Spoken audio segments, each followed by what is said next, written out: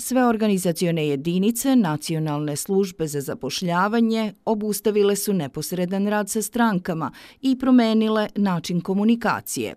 Prvu prijavu lica na evidenciju i podnošenje zahteva za ostvarivanje prava na novčanu naknadu za slučaj nezaposlenosti treba podneti elektronskim putem. Dostavljanje uverenja o statusu lica na evidenciji sprovodit će se također elektronskim putem kao i podnošenje zahteva po raspisanim javnim pozivima.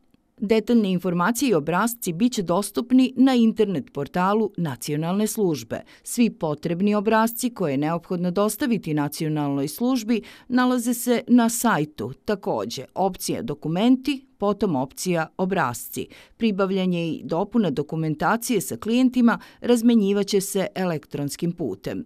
Licima zainteresovanim za program samozapošljavanja, kao i onima koji su već podneli zahtev za učešće u tom programu, dostavit će se elektronskim putem prezentacija obuke Put do uspešnog preduzetnika.